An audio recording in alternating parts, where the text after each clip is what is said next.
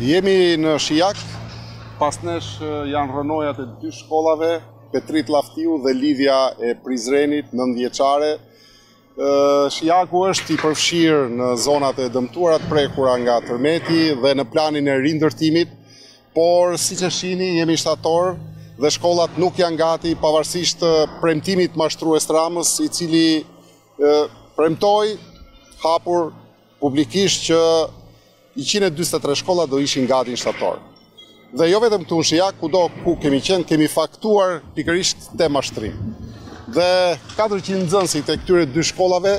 janë detyruar të shkojnë në një shkollë tjetër, Muharrem Dollaku, e cila nuk ka kapacitete. Janë gjithsej 9 klasa. Pretendohet që mësimi të bëhet me turne, por dhe me turne nuk mjafton. Dhe në këto kushte nuk mund të flitet për protokolle sigurie, për masa sigurie, sepse nuk i sigurohet as transporti me opsionin tjetër për t'ikur 6 km larg dhe as paketa të tjera financiare për përballimin e maskave apo të elementëve të tjerë të protokolleve të sigurisë. Dhe kjo është situata e arsimit sot, kjo është situata e qeverisjes, arsim në rrënoja, qeverisje e shkatërruar, pavarësisht premtimeve mashtruese të Ramës. Dhe Rama dje ishte në Elbasan dhe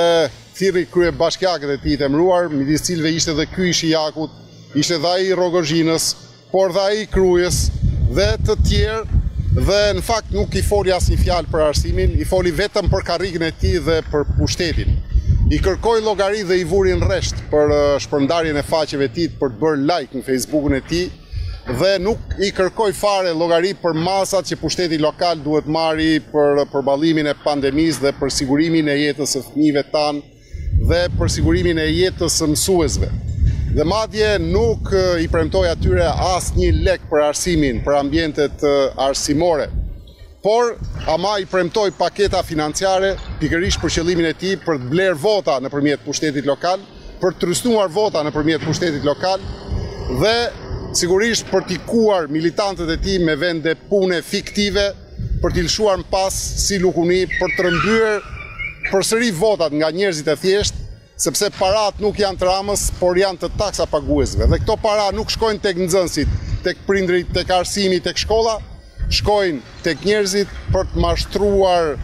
më pas dhe për të rrëmbyer votën për të përsëritur pushtetin e tij të kalbur. Kjo është pamja e vërtetë e arsimit, një arsim që po shkatërrohet pa dyer dhe dritare për fëmijët tanë dhe kjo është qeverisja pa dyer dhe dritare për krimin dhe korrupsionin e Ramës.